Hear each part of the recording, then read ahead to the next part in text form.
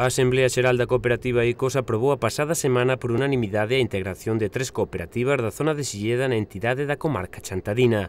ICOS incorpora alrededor de 350 socios novos dunha zona con gran potencial gandeiro, que se suman aos 800 agrupados xa nesta zona. Na Asamblea estiveron presentes alrededor de 100 persoas físicas e máis de 50 con representación.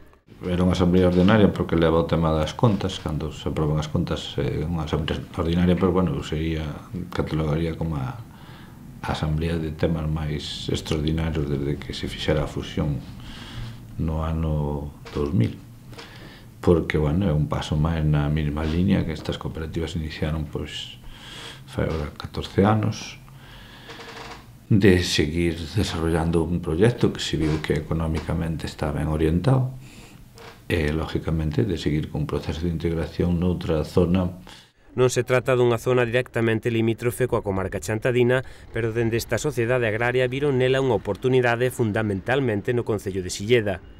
Tratase da absorción das cooperativas Indega e outras dúas menores que son Cooperativa do Campo de Laro e Valdo Candán. As do Deza aprobaron tamén estes días a súa incorporación a ICOS, que foi a última en corroborar a operación na que levan sete meses traballando co que Javier Taboada considera que existe o suficiente respaldo social que chega un novo panorama acorde coa filosofía da entidade chantadina. Pois aí co resultante está claro que a nivel de desarrollo económico pois o incrementar 350 socios con en torno a 800 pois é unha cifra importante de desenrolo Por lo tanto, económicamente pode ser, vai ser significativo se as cousas se fan ben ali e esa xente se ilusiona, non? Pero bueno, aí co resultante, se si seguimos así, pois pues, eu creo que está chamada a, a liderar temas, digamos, no que eu chamo cooperativismo moderno, de fai 15, 20 anos pa aquí, non? que está demostrando que en enfoques que, que fai, pois pues, que, o, que o fai ben. Entón pensamos que pode ser un paso importante que pode decantar moitas outras cousas.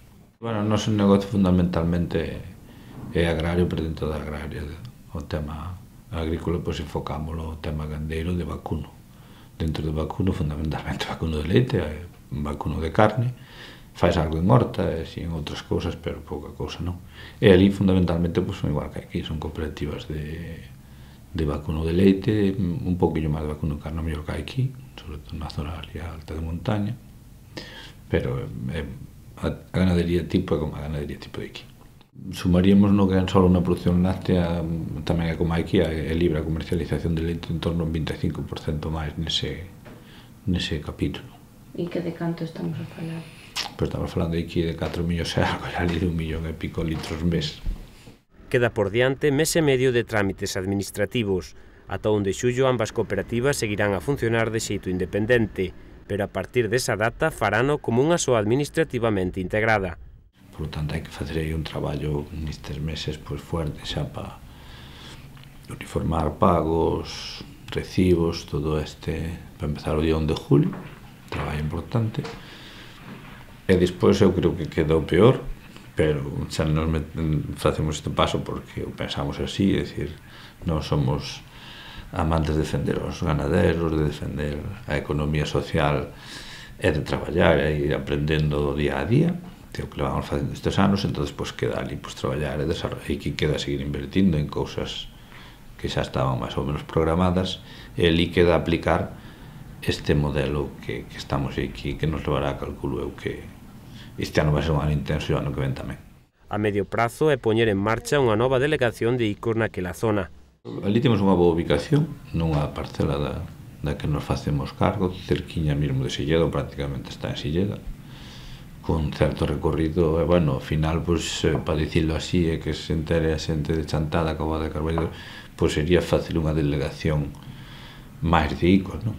Non vai ser, penso, unha delegación menor, porque aparte do potencial liste comercial que é incluso superior aos concellos eh, que timos quitado o concello de Chantada en nivel de vacas e de explotación nestes concellos en aquela zona pois eh, son similar eh, é un pouco superior a Taboada é, eh, bastante, é xa un pouco máis superior que a Carballeda pero incluso a nivel de, de, de, de población que nós tamén vamos encaminhados a facer economía social na población temos bastantes exemplos de bastante éxito pois non hai que recordar que Silledo, por exemplo, neste momento ten máis habitantes que a Chantada.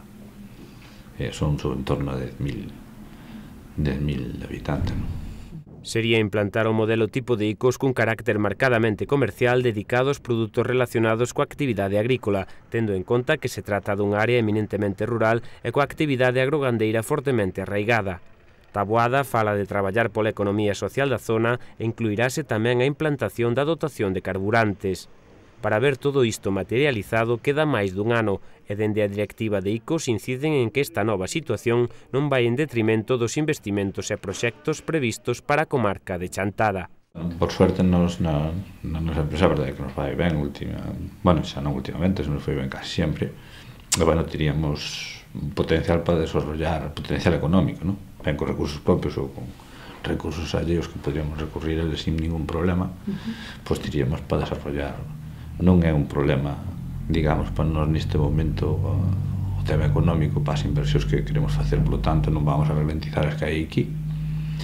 E ali, pois, eu creo que virá dado anca que facer unha inversión máis importante, porque hai que poñer o alto do de aquí, pois máis ben non vai vir dado porque non teñamos potencial económico, senón, polo que digo, pois, por temas de licencias para desarrollar as actividades que ali queremos. Non?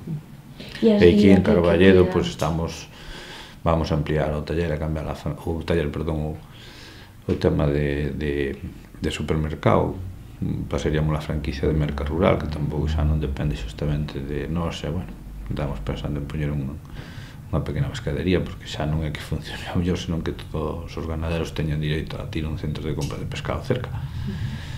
E, bueno, estamos pensando en desarrollar líneas de carburantes, nos, no noso entorno tamén. As limitacións veñen por outros temas, ainda que recentemente no Consello da Xunta pois parece que van agilizar en bastantes meses os trámites necesarios para facer gasolineras tipo as nosas.